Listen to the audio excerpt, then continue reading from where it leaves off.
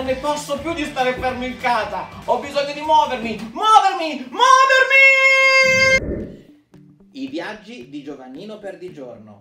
Il paese del Ni di Gianni Rodari. Giovannino Perdigiorno, viaggiando da qui a lì, capitò per combinazione nel paese del Ni. In quel paese la gente era timida un bel po' e non diceva mai chiaro né sì sì né di no. Volete il pesce? Ni. Volete la carne? Ni. A tutte le domande rispondevano così. Ma che rata di indecisi, Giovannino sospirò. Volete la pace? Ni. Volete la guerra? Ni. Ditemi perlomeno se vi piace stare qui. E quelli abbassano gli occhi e sospirano. Ni.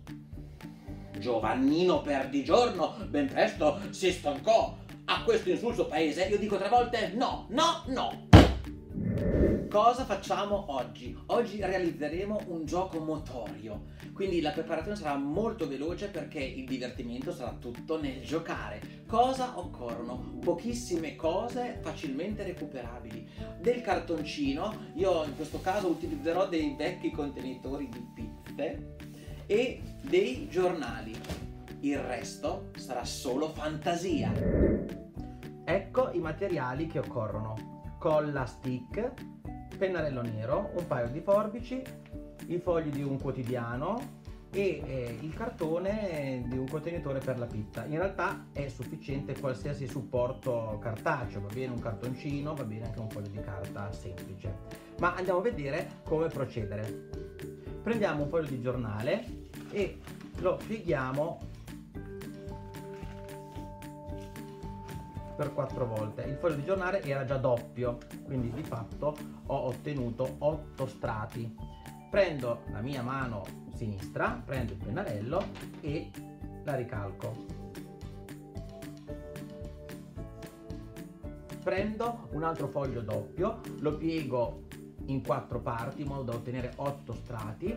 Prendo eh, la mia mano destra questa volta e ricalco anche la destra. Facciamo la stessa cosa anche con i piedi. Piede sinistro, sempre il foglio doppio piegato in quattro parti e poi anche il piede destro. Adesso taglio tutto. Alla fine avremo ottenuto 8 mani destre, 8 mani sinistre, 8 piedi destri e 8 piedi sinistri. Adesso prendiamo il cartoncino della pizza. Terremo solo le parti più grandi, quindi taglieremo i due quadrati, lo ripuliremo dalle linguette e a sua volta ogni quadrato lo divideremo in quattro parti. Alla fine del taglio avremo ottenuto, diciamo, per ogni contenitore di pizza due quadrati grandi e un po' di linguette eh, di scarto. Teniamo anche queste perché le utilizzeremo in un altro tutorial laboratorio per realizzare mh, dei segnalibro. Ora ci concentriamo su questa parte. Dividiamo questi quadrati in quattro parti.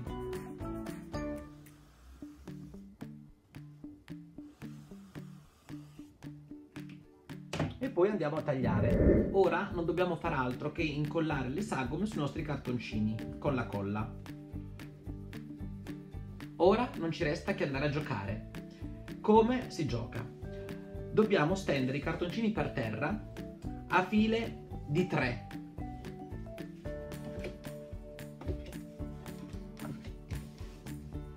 Nell'ordine che vogliamo. L'importante è non mettere carte doppie all'interno della stessa riga. Quindi in ogni riga ci può essere solo una mano sinistra, o una mano destra, o un piede sinistro, o un piede destro. E non ci possono essere più di tre cartoncini per fila. Quindi o una mano o un piede rimarranno sempre fuori da, questo, da questa sequenza.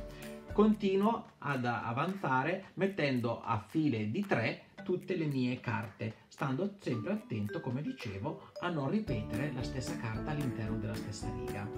Ma non vedo l'ora di giocare, quindi andremo subito a posizionare le carte per terra.